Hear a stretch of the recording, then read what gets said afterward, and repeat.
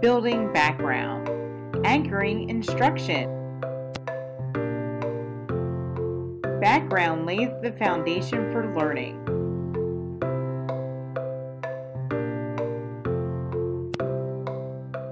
It links the past to the present.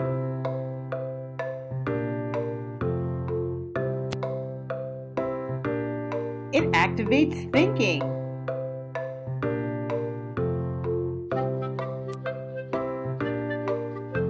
Technology can provide background knowledge through YouTube, pictures, and audio.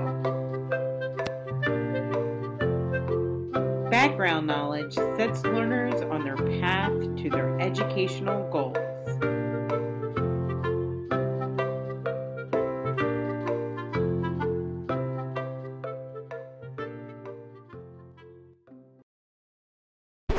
Created using Powtoon.